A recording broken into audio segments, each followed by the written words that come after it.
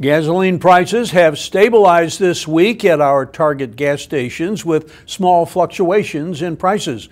SNN local news cameras found the lowest gas for cash this week at 337.9 at the Marathon gas station on South Tamiami Trail.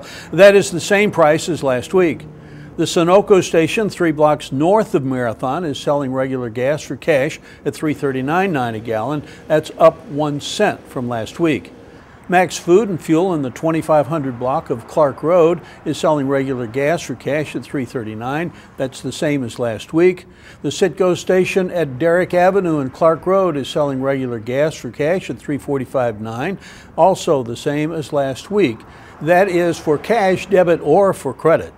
Citgo is also selling E85 Flex Fuel, a specialty gasoline for 325.9 a gallon. The Dodge store, Beneva and Fruitville Road, is selling regular gas for cash for $345.9, the same as last week. And the Save-On station at Gateway and Clark Road is selling gas for cash at $354.9, a decrease of 2 cents a gallon.